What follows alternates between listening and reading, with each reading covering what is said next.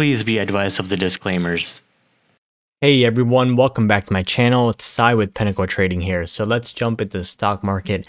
Is it going to finally correct? You know, we see stock market finally going down here a little bit and we see the red candle right here pop up. So what does that mean right now? So let's jump into it. So if you're new to the channel, uh, make sure to hit that subscribe button and the like button. I do a lot of uh, stock trading, uh, stock market trading, investing, and also some uh, financial videos. So hit that bell button next to the subscribe as well to stay updated on my newest videos. So we see a red candle right here. So what does that mean? Our market's finally going to correct because they've been just running up and up and you know we haven't seen a pullback in a long time. So when we look at the yearly chart, which we're looking at right now, we can see the 50 SMA, we see the red candle finally break a little break down a little bit, um, but we're going to see more of a drop on this one.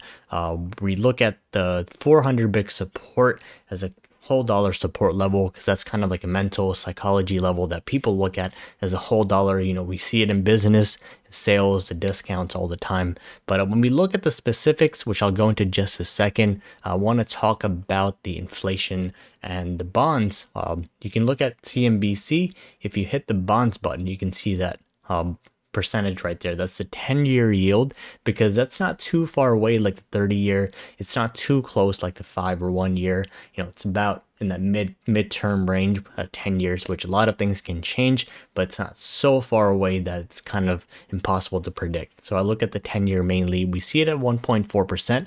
Well, when you go to this website, gurufocus.com, all you have to do is go Google yield curve, scroll down and click on Guru Focus. I like this website because it lays out the charts very simply. This the treasury yields for the 10 year on the one year spread. Uh, you can see every time in the gray highlight, that's when we had this recession happen. So when we see the 2008, early 2000s, early 1990s, 1980s, we had about two huge corrections and crashes in 1970s.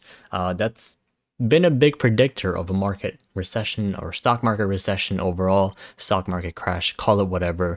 Um, but but right now we saw 1.6, 1.7 area earlier this year, and then just started coming down because markets, you know, they sold off a little bit, you know, back in May, but they just bounced back up and just kept going up. So what happened to the bonds? Uh, they came back down, but I see support right now at the 1.4 area. Can we see a bounce? It's definitely possible if stock markets go keep going down. So when we look at this one, we want to see over 2%. If we don't see the 2%, there's no reason to start worrying.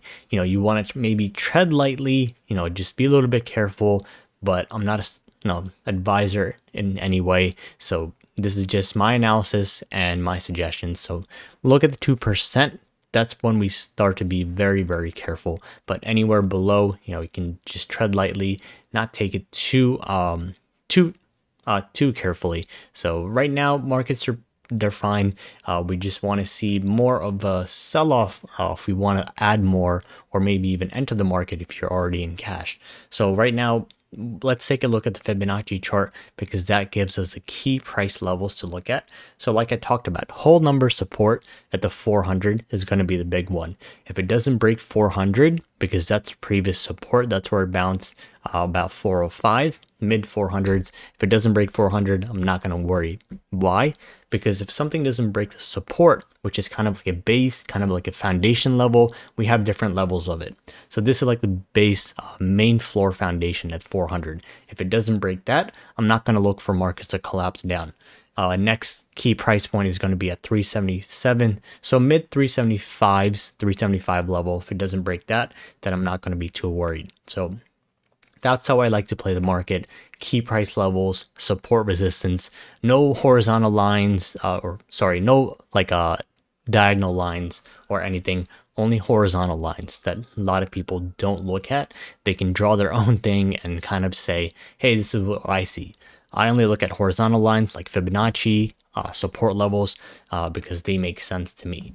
So look for 400 and 375 as the next support levels. If they don't break, I would I wouldn't even bother worrying. But it's a good time to kind of scale out of positions. It doesn't mean go ahead sell everything. It's a good idea to scale out and I'll just be careful, tread lightly in the markets, you know, be aware of what's going on in the market, in the economy, news, just uh, social media, everywhere. Just be aware. Um, it's always good to catch up on things and be on top of things. So look for the support level of 400. But right now, I'm also looking at TLT, the bonds ETF. This is a great one that I called out in the chat room, which by the way is completely free to join.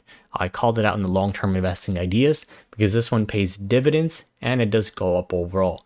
You know, it's not anything crazy like tech or something like that, but this is a great one to you know, kind of hedge against inflation rather than shorting the markets and you still get dividends and it's a long-term growth. So I learned that back a few months ago, about a month ago into 137. Right now it's at, at 145, it's breaking out. So just look for that to continue to break out as markets break down. So if you're new to the channel and you want to join the chat room, it's completely free to join. Head over to pinnacletrading.us and then you can scroll down on the main page, click the join now for free button to join the chat room, which is where we alert all these trade ideas, general chat, and everything like that. And if you want to grab the course. This is where I offered you the education that I put together and it's always updated. I'm going to put up no new videos on this one soon. We have stock market education, trading and investing, and some of my secrets to you. So this is to cut your learning curve and also give you all the tools you need to become a confident stock market uh, trader and investor because education, in my opinion, is very important. So hope this video helped you out. Make sure to hit that subscribe and like button to show your support and the bell button, and I'll see you in my next video. Have a great weekend.